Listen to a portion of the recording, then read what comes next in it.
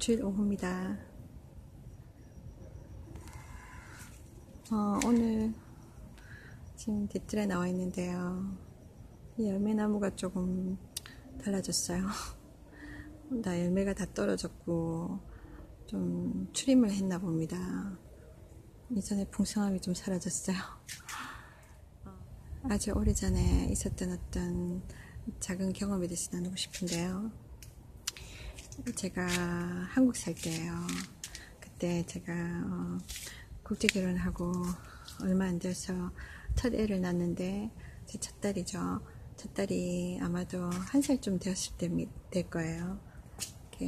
굉장히 어렸는데 어, 그때 저희가 어, 미국 무대 살 때였어요. 부산에 하야리아 부대라고 아, 는 분은 아시겠지만 그 미국 무대가 있었어요. 아이들 아빠가 어, 공군이었기 때문에 그, 그 미군 부대 육군 부대였지만 그 안에서 제가 살게 됐어요.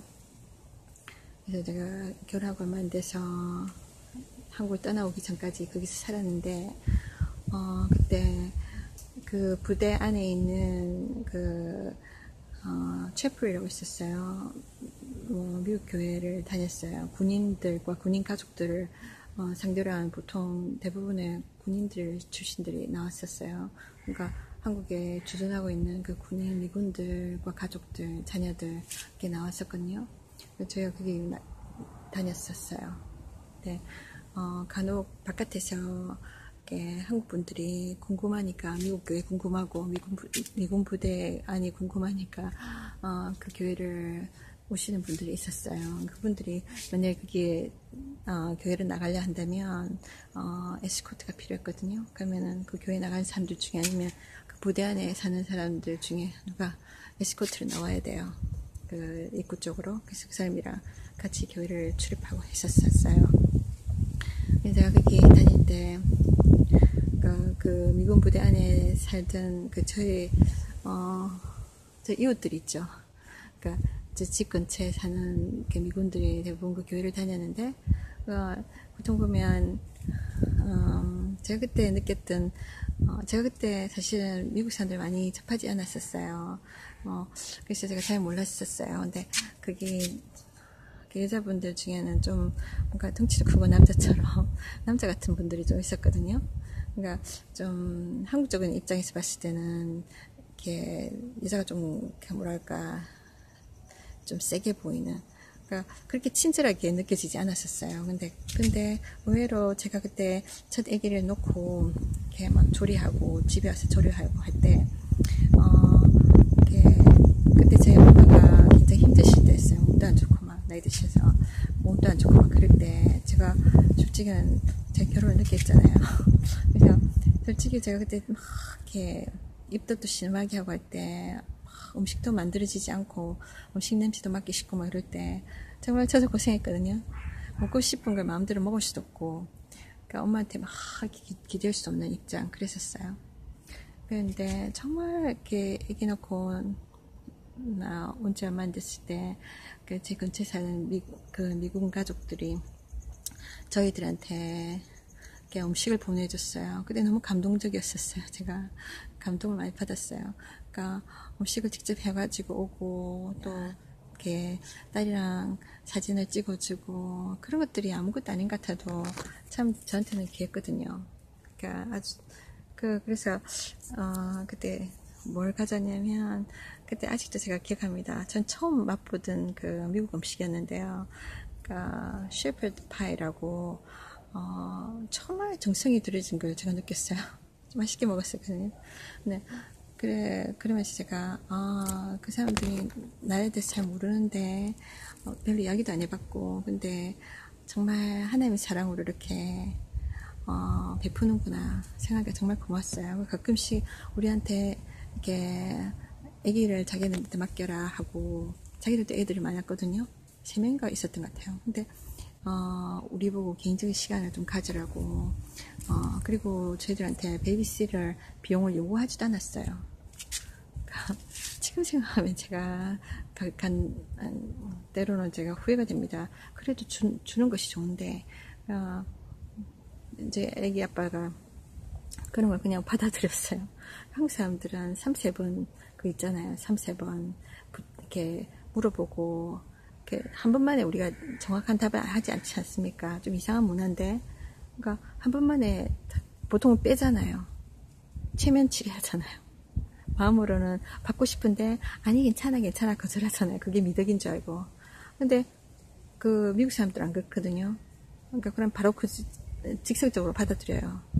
근데 저 입장에서는 막 그게 막 미안한 거예요. 문화적인 아직까지 그게 막 남아 있었으니까. 근데 어 그 미국 사람들은 그게 없거든요. 그 그게 그거면 그라고 이야기하지 돌려서 이야기 안 해요. 그러니까 어 그랬었습니다. 근데 그, 그 몇 번 그런 일이 있었는데 우리 애기 봐주거나 이러면서 어 이렇게 우리 형편을 도와준다고 그 어, 뭐야 무료로 애들 봐주고 그런 일들이 몇 번 있었어요. 그런 거 보면서 제가 아 저한테는 익숙지 않은 부분이었거든요. 그 당시만 해도. 그러니까 뭔가 무료로 뭔가 해, 남을 위해서 해준다는 거 그런 것들이 어, 쉽지 않은 건데 근데 그런 것들을 제가 배웠어요. 그 사람들 통해서 어, 어떤 그 중에 한 젊은 게 어, 군인 여자분이 있었는데 미국 군인 여자분이 있었는데 그분이 그러니까 직업 군인이죠. 그러니까 머리도 길게 이 사람이 왠지 제 딸 큰 딸을 정말 관심 있어 하는 거예요.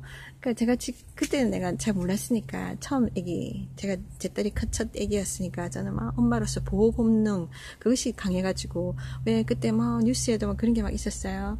그러니까 어, 애기 좀 보자 이러면서 애기 안, 안아주고 안고는 애기를 데리고 막 도망가 버려 납치하고 뭐 그런 경우들이 몇 번 있었어요. 그 뉴스 들으니까 뭐 세상이 워낙 험하다 보니까 제가 어, 조심스럽더라고요. 그러니까 막 애기를 막 이렇게, 이렇게 오버 프로텍션 하는 거예요. 그러니까 보호 본능 때문에 그래서 남한테 함부로 맡길 수 없고 남, 남한테 이렇게 막 이렇게 애기를 보여주기도 쉽지가 않더라고요. 일부러 그런 게 아니라 뭐 그랬었어요 제가 어, 애기 안전이 너무너무 제가 걱정되었기 때문에 지금 생각하면 그렇게 할 필요까지 없었는데 근데 이, 이, 이 미국 여자분이 계속해서 제 딸한테 그렇게 관심을 보이고 사랑스러운 눈으로 바라보고 그렇게 아련히 바라보고 어, 그러는 거예요. 그래서 어느 날은 어, 선물을 사가지고 왔던 것 같아요. 그러면서 뭐 제 애기랑 시간을 함께 보내고 싶어 하는 것이 눈에 막 보였는데, 근데 제가, 어, 막, 이렇게, 뭐랄까, 많이 안아보게 해주지 않았어요. 지금 생각하니까. 그 사람의 입장을 제가 생각 못했, 못했던 거예요. 어떻게 보면 저한테는 그런 경험이 없었기 때문에. 나중에 알고 보니까, 이 사람이, 어, 미국에, 이렇게, 우리 조, 우리 첫째 딸이랑 비슷한 나이 또래 아기, 아, 한 살, 한 살짜리를 놓고, 내려, 데려오지 못하고 군이니까 지금 한국으로 와, 있, 와 있기 때문에 떨어졌잖아요. 그 먼 곳에 떨어져서 애를 남의 손에 맡기고 자기는 이렇게 멀리 떨어져 있기 때문에 애기가 그리운 거예요. 자기 애기가 그러니까 비슷한 애기 연령대 애기인 저희 제 딸을 보면서 자기 자기 아기를 생각하는 거야. 그러니까 그 아기를 제 아이를 품에 안고 자기 고향에 있는 아이, 아기를 생각하는 거죠. 그, 그러한 어떤 그리움 때문에 이 사람이 제 아이한테 관심을 특별히 가진 거예요. 근데 제가 그거를 모르고, 어, 이렇게 뭐라고 해야 될까? 그 사람한테 별로 기회를 못 줬어요. 어, 그 사람에게, 제가 만약에 그 사람 입장에 있었었으면, 그 당시에, 어, 정말 그래. 어, 정말 네 애기가 그립겠다. 우리 아기를 보면서 내 아기를 나 생각하고 위로를 받으렴 하면서 아기를 좀 더더 안아볼 수 있도록 제가 배려를 해줬으면 더 좋았을 텐데 그 당시에는 제가 그런 그런 어, 생각을 못했어요. 그래서 제가 조금 어, 약간 경계하는 눈빛도 가졌었거든요. 그래서 그 사람이 얼마나 어, 서러웠을까, 얼마나 정말 그좀 안타까운 마음이십니다. 제가. 그 사람은요 어려움을 겪어보고 그 사람 입장을 대봐야 그 사람을 도울 수 있는 겁니다. 제가 그때 정말 안타까웠어요. 너무 죄스러운 마음이 있습니다. 그때 생각할 때마다 어, 그 사람은 정말 음, 그 사람이 얼마나 힘들었을까. 그죠? 그래서 뭐랄까 아, 우리가 이렇게 상대편의 입장을 모르면 그러니까 서로가 무심해질 수가 있고 서로가 정말 서로를 도울 수 있고 축복할 수 있는 기회들을 많이 놓치는 것 같아요. 안타깝게도. 어, 그래서 이렇게 상대편의 입장, 내가 사는 것도 바쁘지만 우리가 서로를 챙겨주는 것도 참 필요하다고 생각합니다. 어, 이렇게 물어봐 주는 거. 그러니까 어, 너 어떻게 지내니? 그 어떤 어려움이 있는지 이야기 들어보면 정말 그 사람에 대해서 내가 그냥 이렇게 뭐라 할까? 어, 오해하지 않고 그죠? 거리감을 두지 않을 텐데. 그럼 서로가 서로에게 힘이 될 텐데 그죠? 나도 그...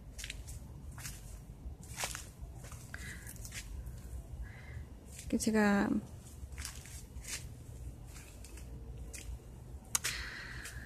음,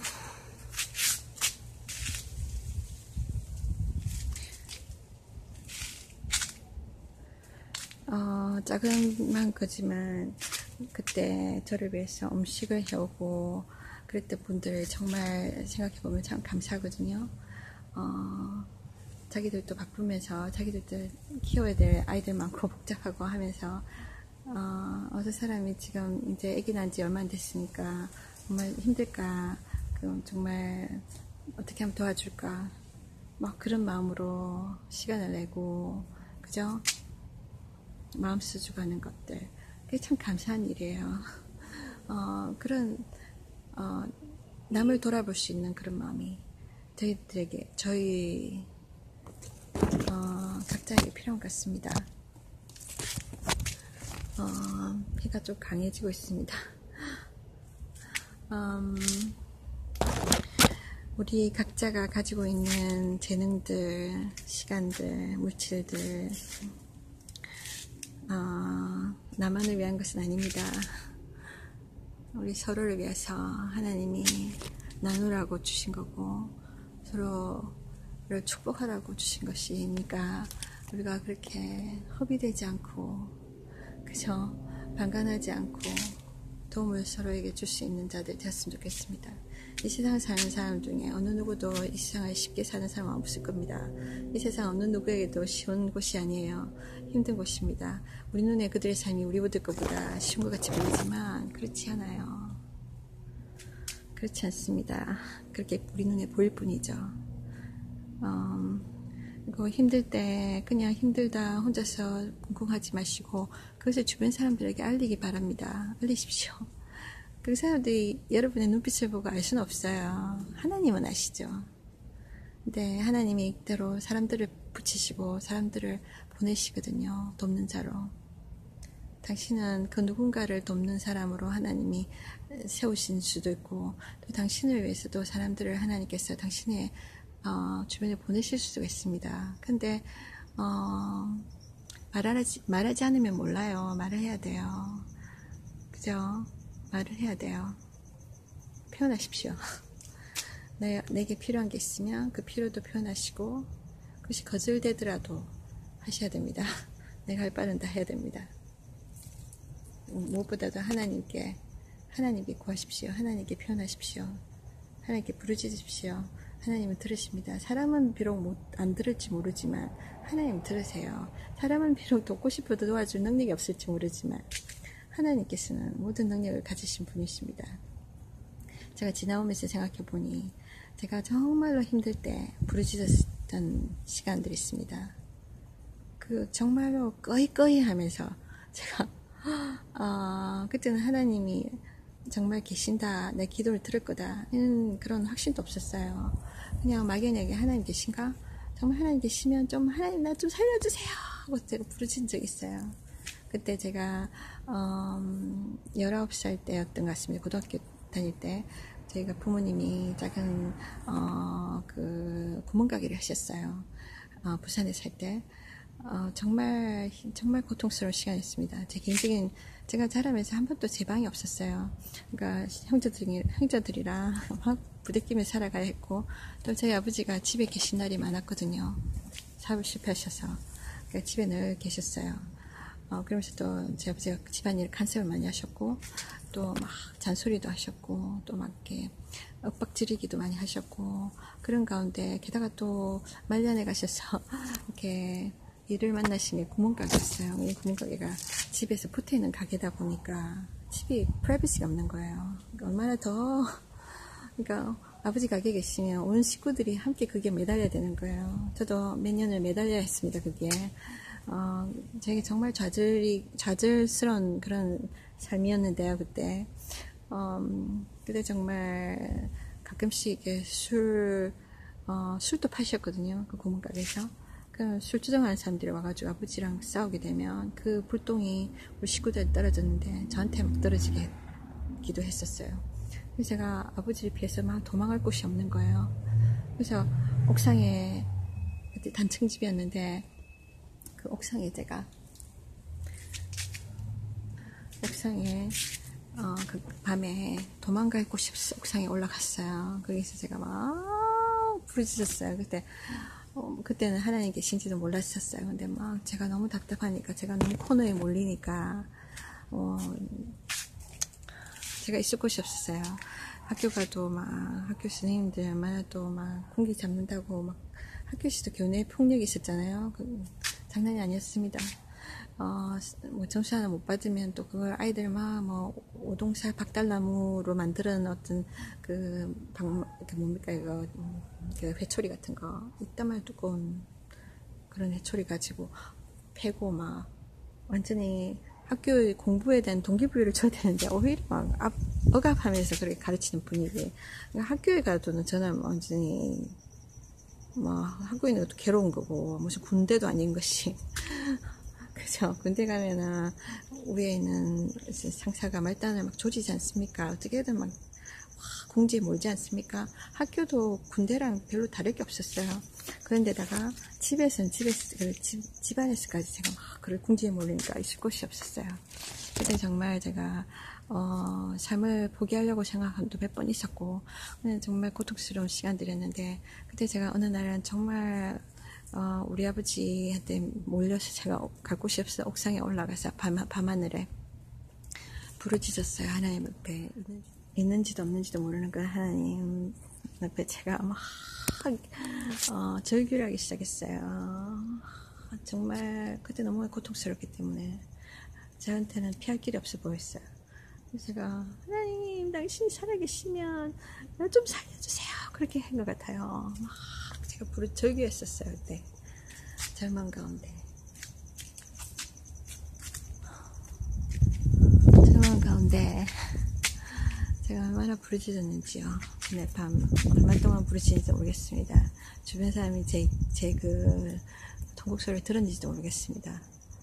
아버지가 언제라도 올라와서 저막 머리채라도 막 잡을 듯이 저는 솔직히 막 쫓기는 마음이었거든요. 도망자가 따로 없었어요.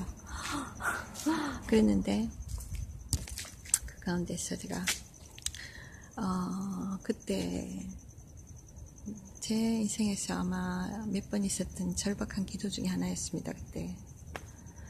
음, 그래서 제가 그 옥상에서 제가 뛰어내릴까 생각했었어요. 1층이니까 죽진 않겠더라고요.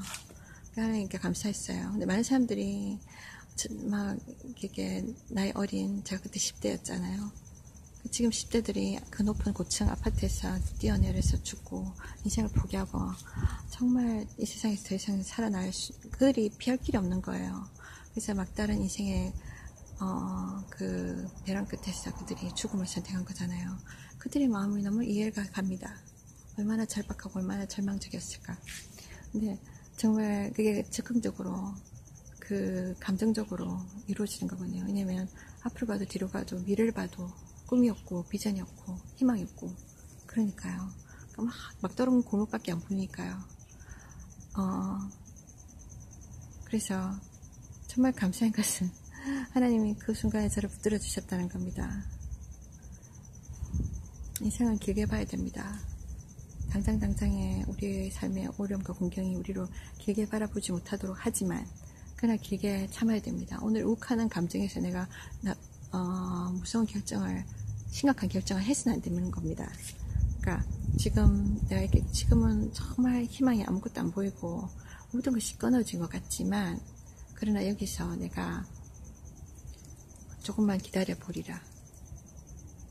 그렇게 하루하루를 살아가십시오. 너무 많은 것을 한꺼번에 생각하지 마시고 그래서 어, 나중에 큰 후회를 하지 않도록요. 어, 힘내세요. 인생은 고통이 많습니다. 그러나 이 고통, 이 고난 뒤에는 영원한 위로가 있습니다.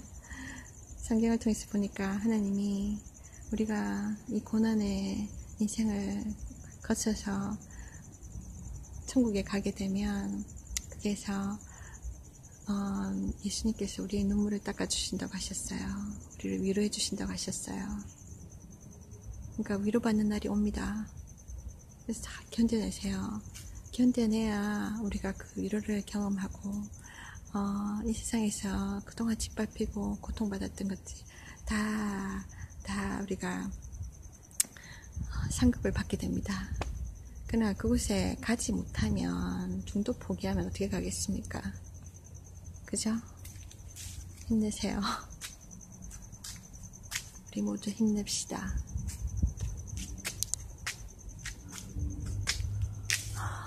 세상이 아무리 더럽고 치사하고 어, 뭐야 정말 살 가치를 느끼지 못하는 고통의 연속이라 할지라도 이게 다가 아닙니다.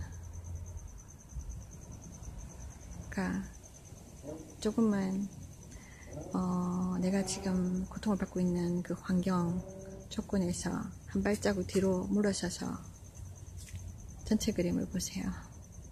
지금 내가 지나가는 이거는 어, 순간입니다. 이게 영원한 게 아니에요. 이것도 지나갈 겁니다. 제가 그 19살에 고통받았던 그 시간이 그때는 그걸 끝날 것 같고 그저 더 이상 나에게는 희망이 없어 그렇게 생각했었던 그 순간 또 지나갔지 않습니까? 그래서 하나님께서 지나게 해주세요. 그 왜 지나가시냐면 그때 하나님께서 나, 나의 기도를 들으시고 저에게 피할 길을 주셨고 또 이게 힘을 주셨어요. 그래서 그런 겁니다. 아예 제 삶에 어려움이 없도록 하나님께서 나를 밀봉 상태에서 정말 온실의 화초처럼 그렇게 키우신 거 아닙니다. 그걸 있도록 하나님만 바라보며 이겨낼 수 있도록 매 순간 이 기도의 통로를 제게 주셨기 때문에 제가 이겨냈다고 생각합니다. 그러니까 내가 혼자서 막 겪어야 되면 내가 감당할 수 없잖아요. 그래서 사람들이 막 자기가 막 극, 극단적인 길 가는데 근데 적어도 내가 이 울분과 이 고통을 쏟아낼 곳이 있다면 하나님께 예수 그리스도를 통해 하나님께 부르짖, 부르짖는 그 기도 막 용을 쓰는 거기 가서 풀어. 그러면 하나님께서 듣고 또 피할 길 열어주시거든요. 어, 우리에게 이게 힘도 주시고. 그래 오늘 견뎌보자. 또 내일 또 견뎌보자. 이렇게 할 수 있는 힘을 주시는 겁니다. 그러니까 내가 혼자 살려고 하지 마세요. 음, 다 이겨낼 수 있습니다. 하나님 좋으신 분이에요 아, 또 시원한 바람이 옵니다. 네. 저는 이, 이 소중한 시원한 바람 하나님의 손길이라고 생각합니다.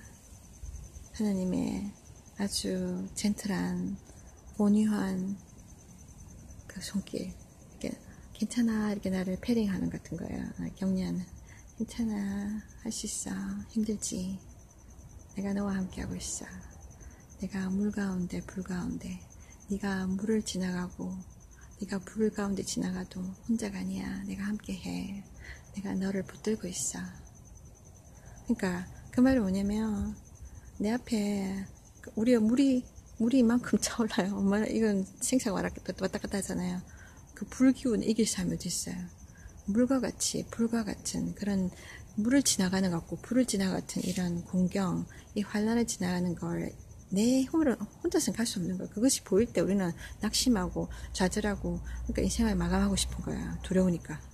내가 감당할 수 없으니까. 그러니까 하나님이 이런 것들이 너한테 니한테 가까이 가지 못하도록 내가 다 막아줄게. 이게 아니에요.